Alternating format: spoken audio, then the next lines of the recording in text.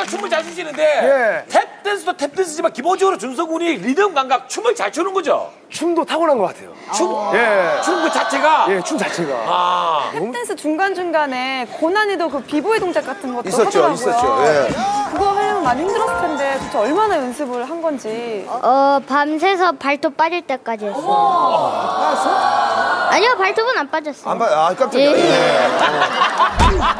농담도 잘하시구나. 지금 이게 보통 그 힙합 친구들하고 지금 같이 춤을 췄거든요. 네. 자꾸 계속 꾸준하게 도전할 수 있는 기회는 아마 스타킹 외에는 없다는 생각이 들었어요, 사실은. 만약 스타킹 없었으면 저 친구가 이렇게 계속 개발했을까?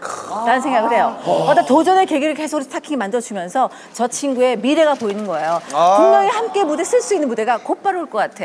정말 파이팅. 야 오늘 멋진 공연을 보여준 우리 이준서 군에게 여러분들의 큰 박수가 필요합니다. 예! 준서 인사. Hi. 사 신동 특집 마지막 출연자는 말이죠. 네. 오늘 출연자 중에 가장 연장자입니다. 천재 기타리스트 이강호. 안녕하세요. 초등학생 광성 드림학교 초등학교 5학년 이강호입니다.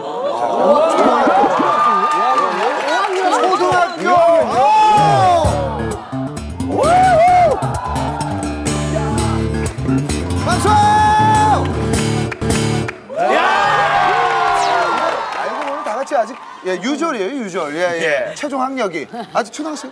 초등학생. 초등학생. 아직 초등학생. 초등학생이에요.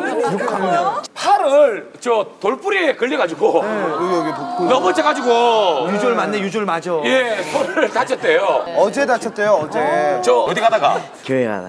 교회 가다가 최연소 우스틱 네. 기타의 최강자. 일단 우리 강호군은 그동안 어떻게 지냈는지. 네, 어, 공연도 많이 하고 다녔고 네.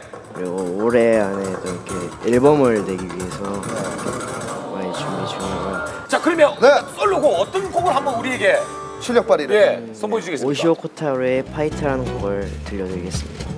아니 일본의 그 대표적인 finger style의 대표 주자죠. 아니 얼마 전에 김동윤 씨 우리 그 스타킹 방송을 못 봐서 그러는데 다녀갔습니다. 아, 여기에요? 오시오 코타로 씨가 다녀가셔가지고요. 네, 예. 맞아요. 최고의 어떤 기타, 어떤 정상의 세계 최고 수준의 어떤 또 그 오시오 코타로 씨의 어떤 주법 있지 않습니까? 네, 예, 이 기타 통을 치면서 네. 그분이 가장 아낀다는 그 파이트를 지금 연주해 주시겠다는 겁니까? 네.